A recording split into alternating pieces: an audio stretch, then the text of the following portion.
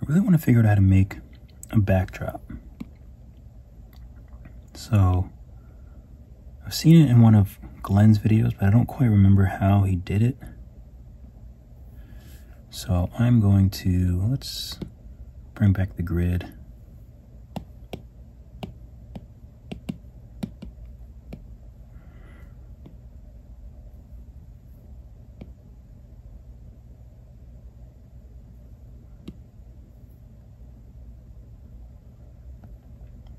Okay.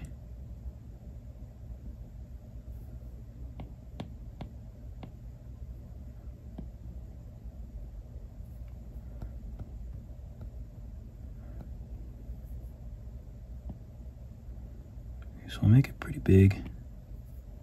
So I guess I can always make it bigger. Okay, now what I think he did was make it longer.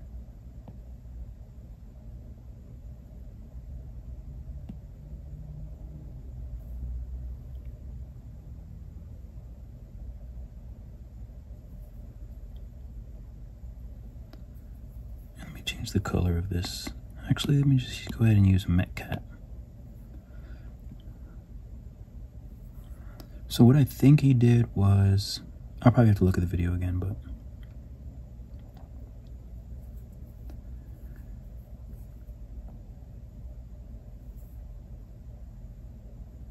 selective mask something like this invert.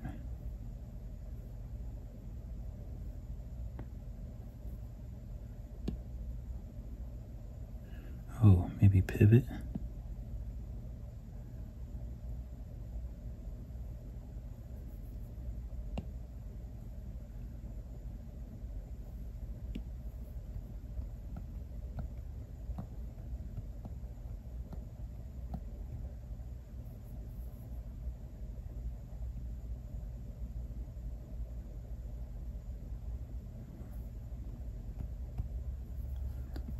Okay.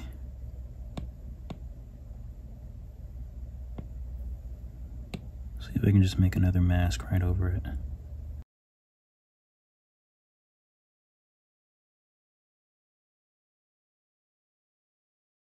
Maybe if I remesh it. Ooh, heavens. Okay, no remeshing, no remeshing. So maybe if I just smooth it out.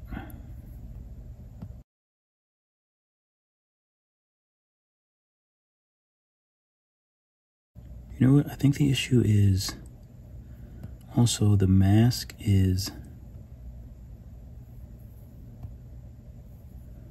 Okay, here's another issue. The mask was not very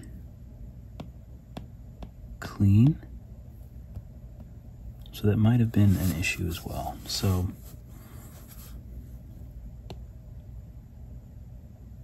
see how there, there's that blur?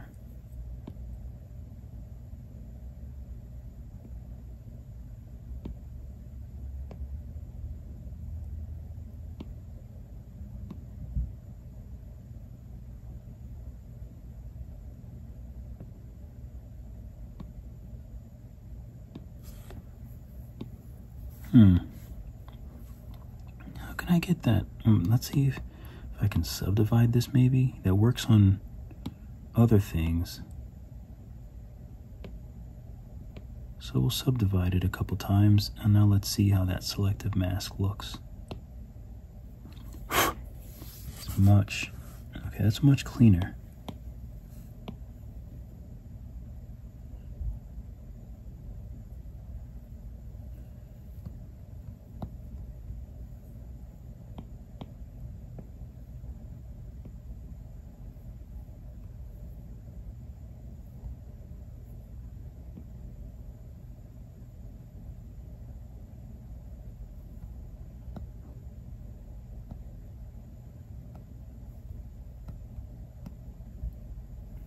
Okay, let's move let's move the pivot up. The pivot point right to the edge. Let's see what that does.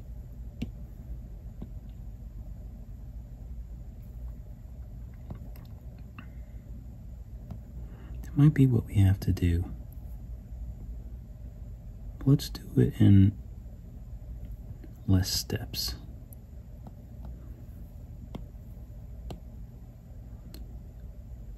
Go.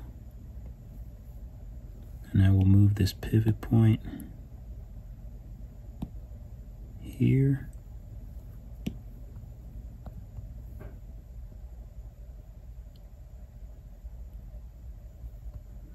Oh, so I might need to just move this manually. Let's see.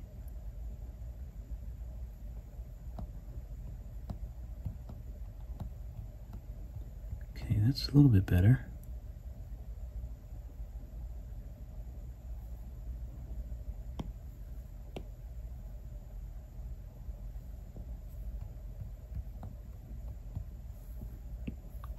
Pivot.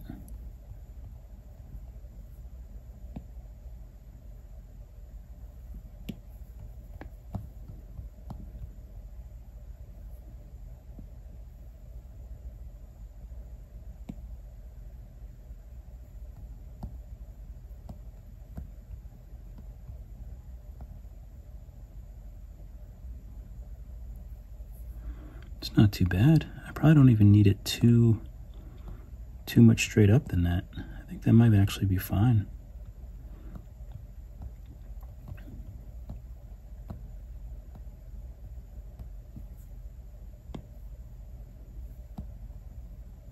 I'll do one more.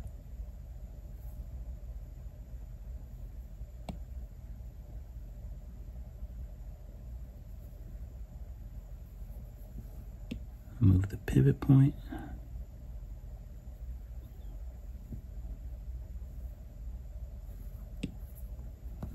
This is one thing that kind of bugged me is I always wanted that uh, everyone making art in Blender has that nice backdrop. It must be easier in Blender or something because I always see people. Now let me make sure that I'm doing this.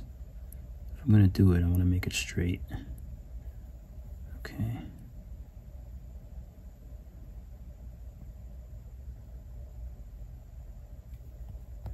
I'm going to do it straight up and down. That looks good. So I'll go to select mask, clear it. Okay, so hopefully I can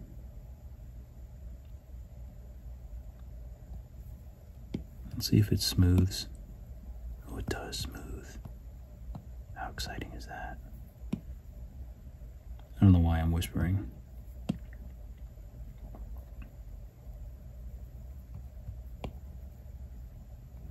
I'm not too worried about the edges warp, things like that. I just want it to be smooth.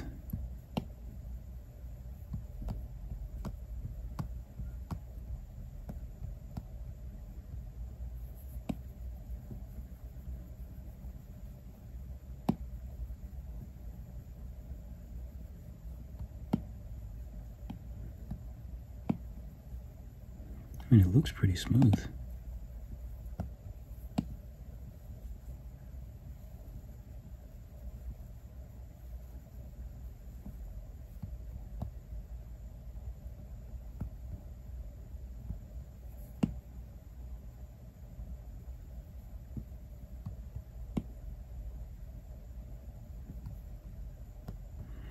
Okay, so let's bring this up a little bit. Get it off the grid.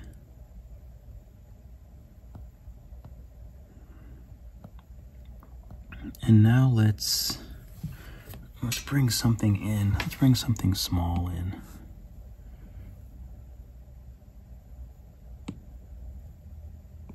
Add to scene. Should I bring Horace in?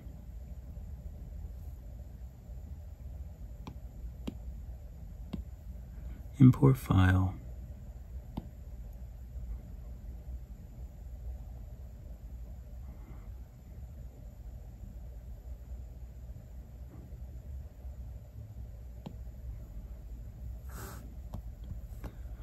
Okay, so we'll bring in our iced bun.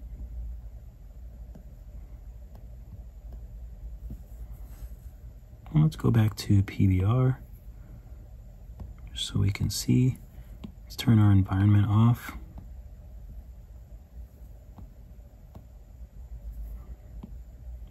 I don't think I need to be in orthographic anymore, so I'll go in perspective.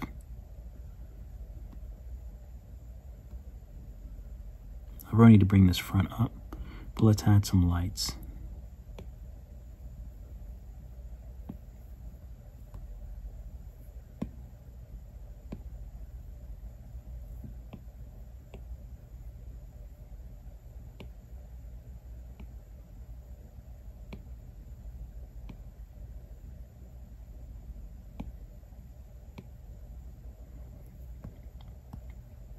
Let me turn this, bring this color down as well.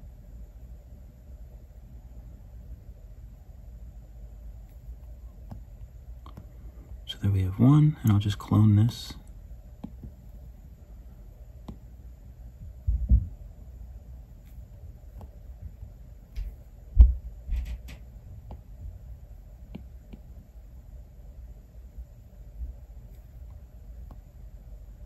Can probably bring it off the backdrop a little bit.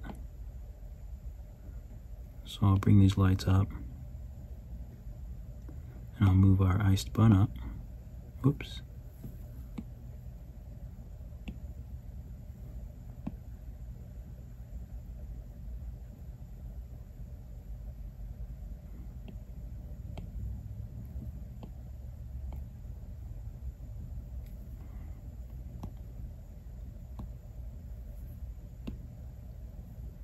Actually make these a little bit softer.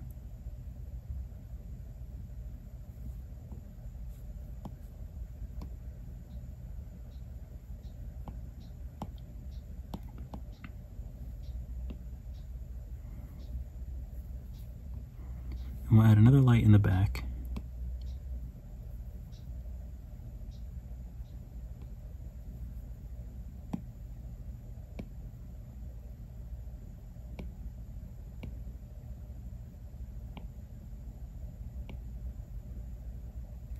Where is this light even pointing to? Jeez. Let me change this to another spotlight, point light. Ooh, that's bright.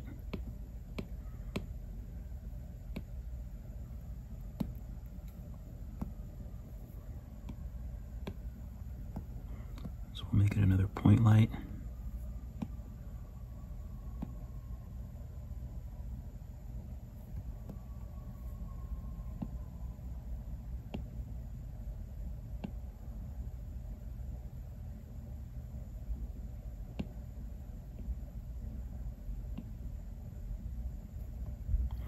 I usually like to change the color of this one.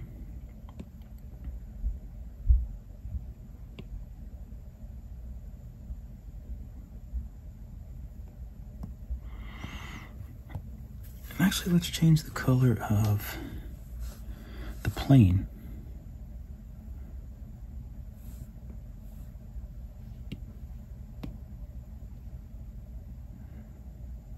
I'm gonna leave it white.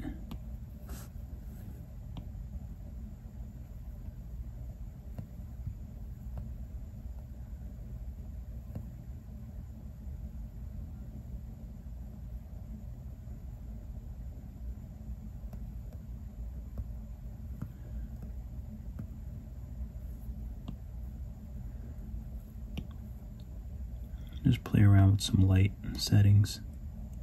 Make this a little more blue. Make this one a little warmer.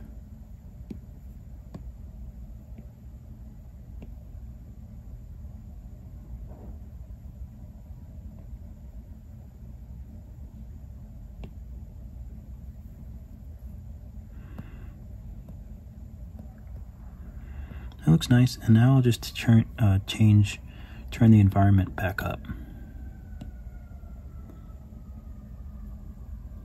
I don't want it super bright.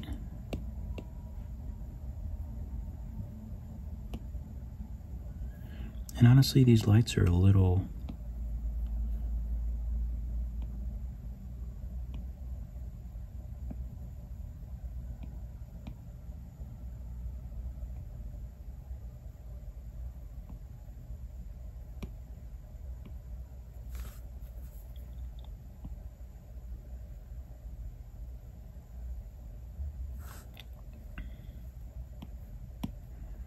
pretty intense.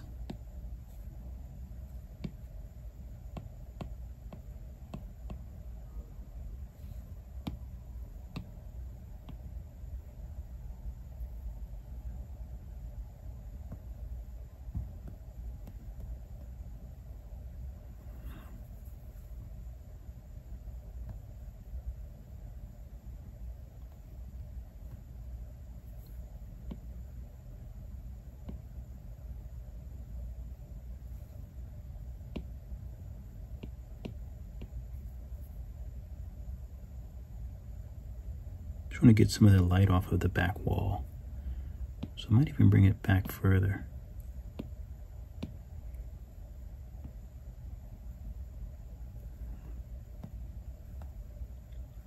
I'll do the same with this. I'll just bring it back.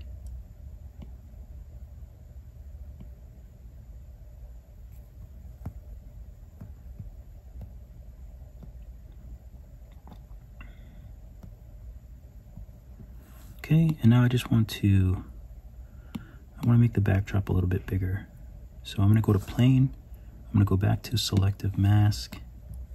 Make sure I'm on the top. Actually, I don't know why I do that. I'll just select this other bit. Now I'll take the transform tool or the gizmo and Spread out that way.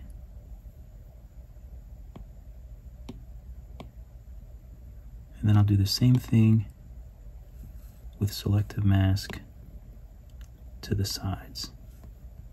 Although I might be able to just use the gizmo without even worrying about that. Give myself extra work. Get rid of the lights. Get rid of the grid.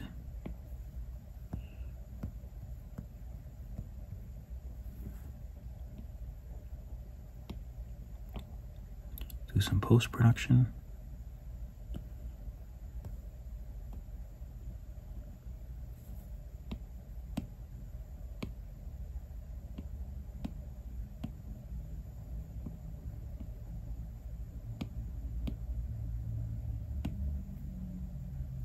Think it looks pretty good.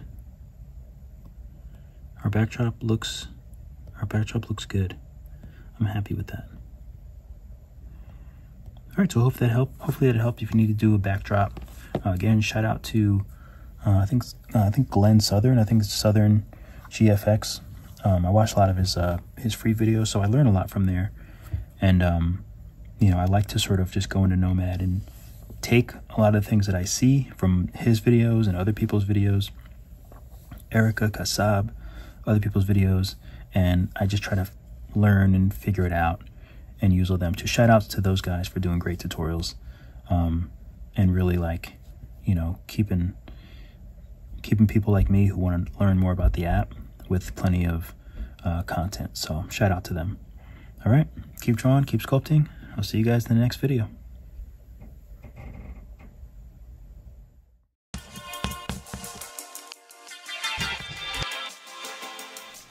Thank you guys so much for watching the video. Be sure to like and subscribe and hit the notification bell. That way you can come on and chat to me when I'm doing my live videos.